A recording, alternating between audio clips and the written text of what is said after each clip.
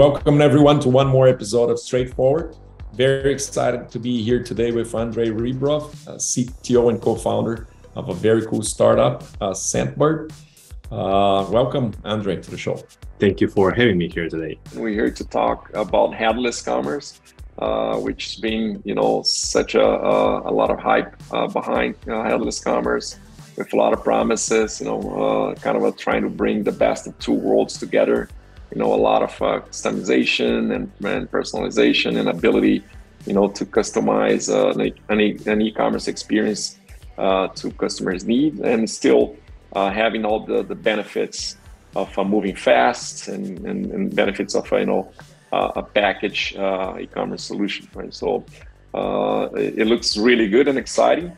And we're here with Andre today to, to, to so so he can share with us um, his experience at Scentbird uh, around headless commerce. So, Andre, uh, your, your your initial uh, thoughts, and if you can just describe when did you start that journey, and what what uh, what you were expecting in the beginning, and, and maybe what uh, what you actually were able to achieve uh, during that journey. That that would be really good to provide the audience here some context on, on the conversation we're going to, to have here today. So you're asking me how long we've been uh, in this journey, and it's partially we've always been somewhat of headless commerce because since day one, Scentbird was a homegrown solution that was created uh, with microservices idea in mind. Yes, obviously it started with one big service, like it's usually called monolith service, but over time we created a bunch of systems and the idea was always the same. We want to have the best platform, best service for our customers and yes, unfortunately, a lot of great names, great services on the market, they were built to fulfill one purpose, but that what that wasn't what we were looking for because we were a subscription commerce subscription service for perfumes, fully customizable with a lot of custom elements and even if we use something off the shelf, we still had to rewrite it a lot. So that's why we started our journey with a custom development. Um, but uh, as I believe you know, and by talking to every every CEO, every manager uh, these days, you know that the more and more problematic uh, situation right now is how to retain uh, your team, and this is especially difficult for the engineering team because the engineering team they're not getting cheaper, they're getting more expensive, and having one team here in the United States might cost you easily a million of dollars a year, just one team. Imagine how many teams you need to have a proper e-commerce website with a front store, with, with CRM, uh, an admin, and so on and so forth. So having the same uh, thought in mind, we actually had a lot of discussion earlier this year about what should we do next because we don't consider ourselves a technology company we don't create platforms we don't create services we sell perfume so we decided, okay, uh, considering what we have in, in mind, and that was improving our e-commerce offering, because since day one we were a subscription service, we said, okay, what should we do uh, having this roadmap in front of us so we don't spend a lot of time building simple blocks like a cart, discount engine, loyalty engine, PIM, and so on and so forth. And then it was a moment when we discovered and decided to go into the headless commerce way. Because for me, as a technologist, it represents the best of two worlds, as you said. On one hand, it is a custom, uh, it's a small service built to deliver one uh, purpose and one purpose only. And on the other hand, based on the knowledge of the industry, it already does what you need it to do. For example, if you're talking about the cart, uh, cart model, it does what cart should do. You can enter the cart, you can remove from the cart, it can calculate uh, the uh, subtotal, it can calculate tax, and so on and so forth. Same for product information model, same for discount engines, and so on and so forth. So we just we decided that we want to go this way early this year. And then it took us about two months to go through the various players because unfortunately, again, as you mentioned, there is a lot of buzz about headless commerce right now. Every company that every service that exists in the e-commerce space call themselves now uh, headless, headless, headless commerce. Everything became headless overnight. Isn't it incredible? it is incredible. The power of marketing is here. Yeah. So if it took me um, so like a couple of weeks uh, to just a list of services who are actually headless commerce who do what we need to do and then uh, maybe in the months we're able to talk to them understand what they're capable uh, of what we can build together how hard it will be to, to build with them and then started this moment we decided our implementation and that's again another beauty of headless commerce because unlike traditional platforms when you either like when you have to launch everything at once like you, you do this so-called big bang launch when you spend an i don't know a year two years on like configuring all the things if you can launch service by service. For example, we decided to start with PIM, product information model, because it's foundational you need product to add them to the cart. You need products in order to create an order. You need you need products because you want to build uh, discounts based on product. So we started with requirement. We just, we started with understanding how do we want it to work for, for us. And now uh, the team is working on, on this implementation. Once it's done, it will be already in production. It will already serve its purpose, and we will we will move on and we'll continue to build. And like this is what I'll like a lot about this approach. Like you can deliver value as soon as possible. Got it. In a in a at this point, so at this point, have you migrated the whole e-commerce to to, uh, to the new architecture of e-commerce, or still no. in a, still migrating it? We're still migrating it, uh, but because we also have a lot of legacy in different par- parts of the uh, infrastructure, and we are also trying to do what's called decoupling because as I mentioned, we were a subscription companies and like all of our custom development was tied really close to subscription. And yes, it was great for its purpose. But when we started to do more on the commerce uh, side, uh, we saw problems uh, for biz dev department, for merchandising, for marketing, for operations. And this is what we're also trying to do right now. We're trying to decouple it and make it work for everyone in the organization. So I would say by the end of this year, maybe by the beginning of the next one, it will be done. So I would say it's six to eight months project, which is which I can consider short in, in our industry for migration of that water of that size. Yeah, it's uh, it's pretty pretty, pretty uh, straightforward. In a from the the modules that you already migrated, right? So, uh, uh, do you think uh, is is the the that those modules are they living up to the expectation of uh, of uh, be the best of the two worlds? Like, and not only be able to you know be flexible and be customizable in an easy way, and also be cost effective. Like, you know, to reduce mm-hmm. the cost of maintenance? Uh, are, are, are, is it delivering to the promise? I think so, because we actually put this as one of the goals of the project. We would love to, like, as we decouple business logic, we also want to decouple engineering team from day-to-day activities that operations team might have or merchandising team uh, has. So our goal is to is to by the end of migration to provide a tool to all these teams that they can use to add new products fully by themselves. Even if it's a completely new product, they should be able to do so. Uh, they should be able to modify it.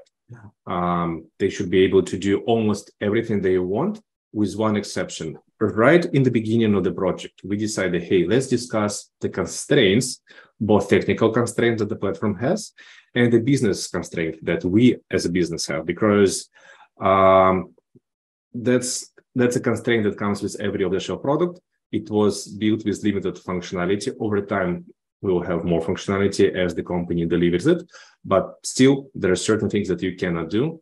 And we made it transparent to every stakeholder. Hey guys, you won't be able to do that. Our engineers now won't be able to go directly into the database and fix it. So let's discuss what we can do and let's discuss what kind of workaround we'll be able to have in order to fix if something goes wrong.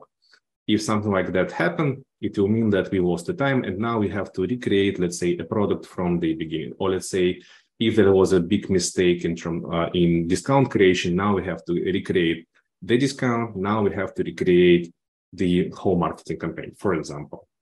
Yes, it's a cost, but on the other hand, you now give people the tool to to use. For example, you give the discount engine to marketing team, and now they can create any uh, a campaign every day if they want, and don't wait for the engineering team, and they will be ready uh, for the holiday campaign. Let's say one month earlier than expected. That's great.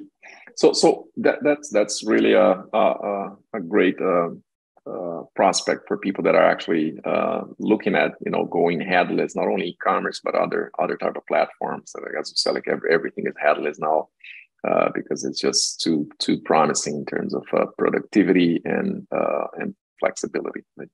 so so it, it, looks like nirvana right but usually in, in, in, before you get to nirvana you have to go go into go go through a little bit of a you know challenges and so can, can you tell me like what what are what are the what are the main challenges that you had to go through to mm-hmm. get to, to the to, to the to the new this new architecture so it may be uh, insightful for other people that are, mm-hmm. are willing to take that journey right so what what what do you tell them that uh, to pay attention to and and to to you know to, to mm-hmm. get prepared for uh, the, the for the journey Absolutely.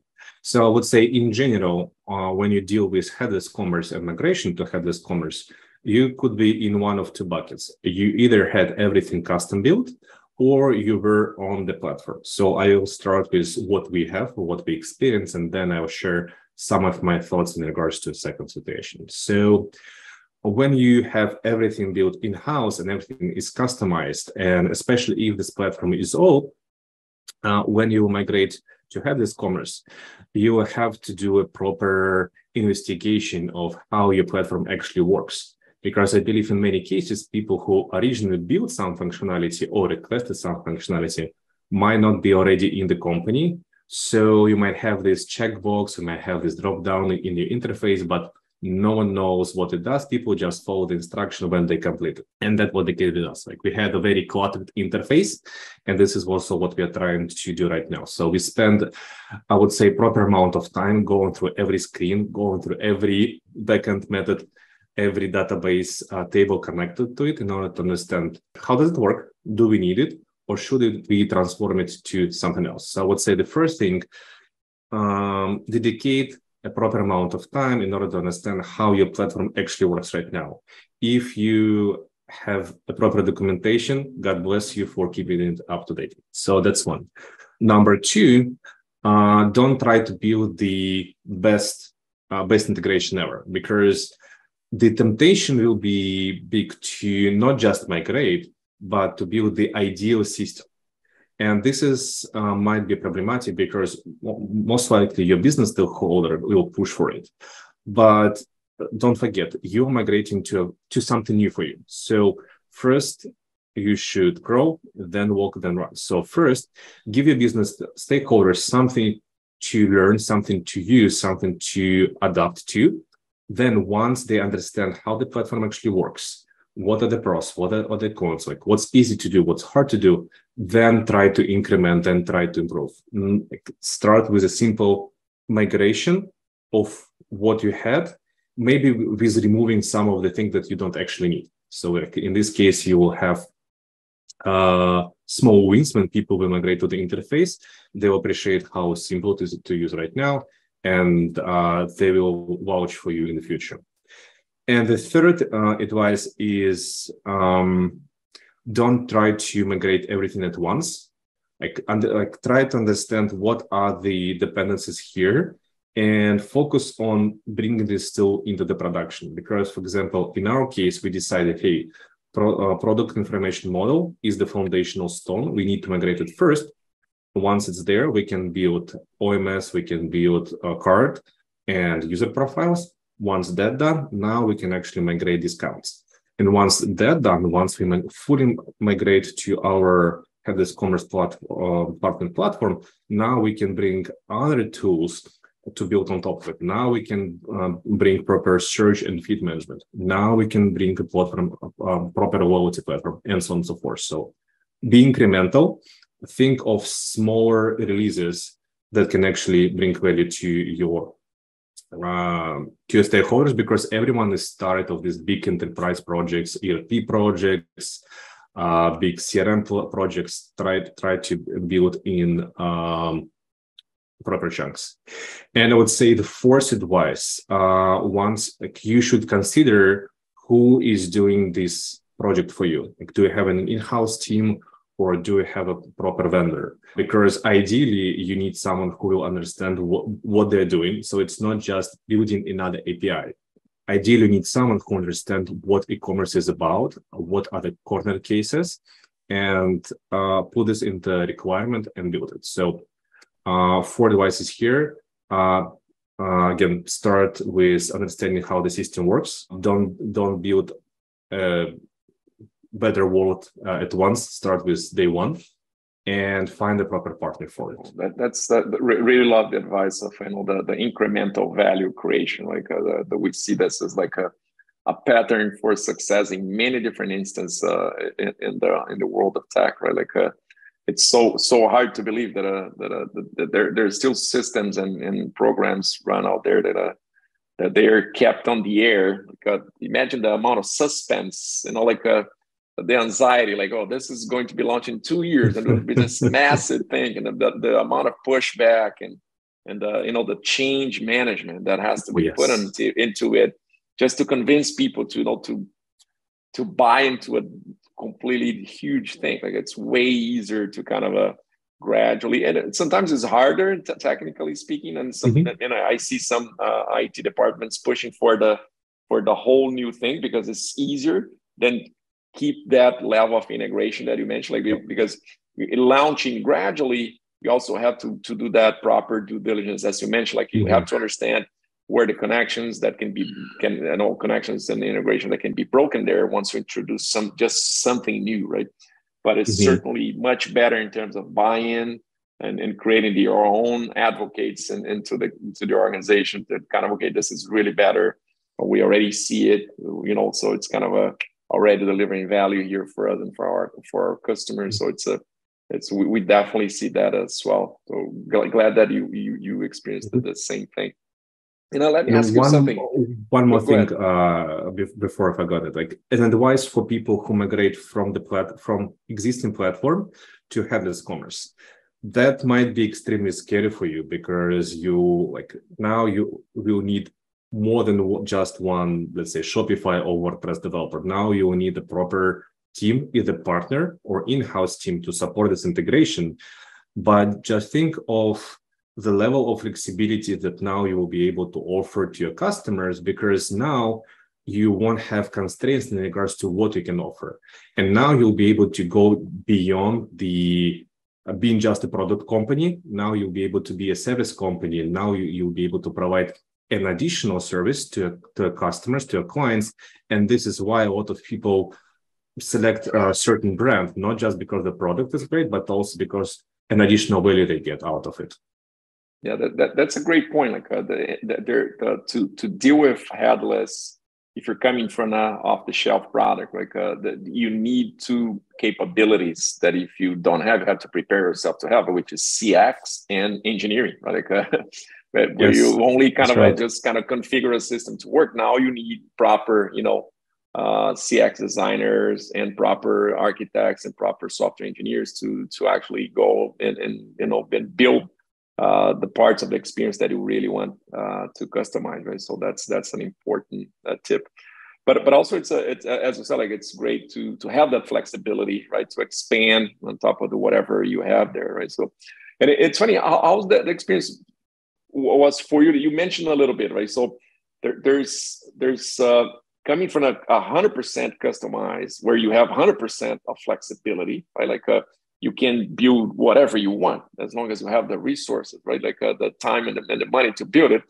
Uh, how, how was it for to convince at least your partners, your uh, your people on, on, on marketing and, and, and, your your uh, uh, business partners at, at Scentbird to go to a, a little more restrictive um, uh, environment, which is not 100%. We cannot build, as you mentioned, a couple of promotions. And, you know, there, there, there, you, there are some constraints, right, that are supported so you have to adjust to that world. How, how was that migration?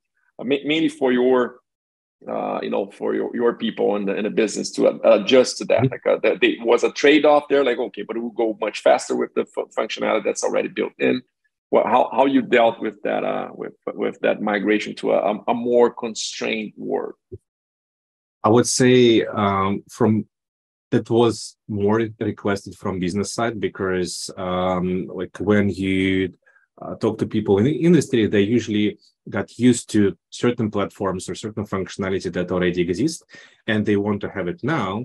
So when you sell it, you actually sell, hey, like we, you won't have to wait until we build it. You will have it right in time for you to do your job, and you will be able to achieve it. I would say um, the most important it was to sell to the engineering team to support it and saying, hey guys, now instead of building everything, we will build partners here and there.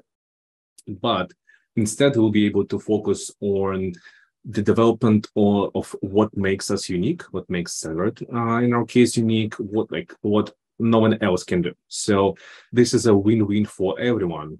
The only important part here for me as a CTO is to build the integration the way that we still can build on top something. Like let's say if we're talking about discounts, uh, yes, like we are using the uh, the third party engine at it full, full capacity. But if something like uh, something truly unique will be needed, we'll be able to update it. We'll be able to build something on top of it that will still allow our marketing team to use the same uh, instrument with some tweaks, but uh, we will still benefit from it. And this is again what I like about uh, headless. You don't need a full platform. You have an ability to pick different vendors to solve your particular problem. If you don't like at some point one vendor, let's say you don't like a vendor who gives you loyalty program, you can pick another one replace it and you already have everything on your side. So it will be mostly about migration, the data, migration coupon codes from one platform to another. But, but everything else is already done and you won't need to migrate the entire platform. This is the flexibility that I like a lot. Cool, really cool. Uh, one, one last question before we finish. And uh, just trying to understand when, when the, the modules that you migrated, uh, did you kind of reuse uh, any of that presentation layer code or just reuse uh, layouts, reuse anything, or just kind of adjust it to the to a new uh, interface that uh, that uh, the new headless commerce. Like, what, what was the approach that you used there to kind of mm-hmm. keep to keep the, the, the, again the, the the look and feel and, and the experience uh, closest closest to what you wanted to be, or mm-hmm. just uh, the was more like a back office integration. What, what what was the approach? So as the reason why it's called headless, like you don't need to change the head, and that's what happened in our case. Customers won't see difference because it will be the same interface they've been using for the last several months. The only difference will be for business uh, users because now they will have to interact with a different platform to create products, to create, uh, to edit orders and things like that. And uh, again, this is uh, another benefit of headless. Like you have no constraint in regards what kind of interface you want to build, what you want to put there, how often you want to change it. Uh, you don't depend on issues uh, on, on, the uh, platform side. Like if you want to have, I know, certain GIFs on your website, you can put them and uh, it will make you and your customers happy. So to answer your question again, no, like nothing changes from the front store. Everything is on the back end and it's again piece by piece. Really cool. Well, uh, Andre, th- thank you so much for your, wisdom. Uh, I hope the, the audience here can uh, can tap into your experience, you know, to prepare for their own journeys around headless, if, it, if it's headless commerce or CMS or, or other uh, other types of architecture that are, that are kind of heavily uh, you know customer experience driven and but but need to be you know competitive and and and, and maintained and uh, and and move fast right? So uh, that we, we're very excited we're, we're involved in many implementations of such uh, such experiences that and we, we love to tap, tap into real stories uh, with uh, you know real challenges and, and real strategies to, to overcome them. So th- thank you so much for sharing sharing your those stories here and uh, thank you for your time Thank you, Bruno. Thank you for the conversation. Thank you. See you in the next episode. Bye bye.